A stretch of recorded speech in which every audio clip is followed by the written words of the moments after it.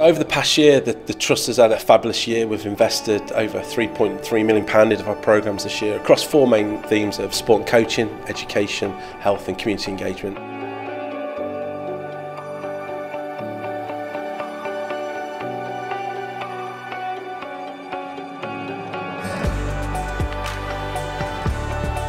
We went on holiday and unfortunately my wife was diagnosed with pancreatic cancer the day after we got back. Unfortunately she, she passed away in June. I've actually seen the leaflet uh, on active recovery at, at the hospital and it really has helped me a lot meeting all the different people and it's given me a better outlook in life.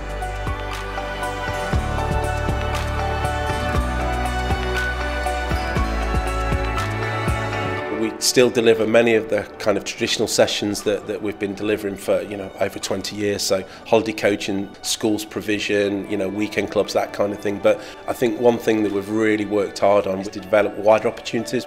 And just making sure that you know we respond to local need and deliver programs that actually have really positive outcomes for you know the community we serve.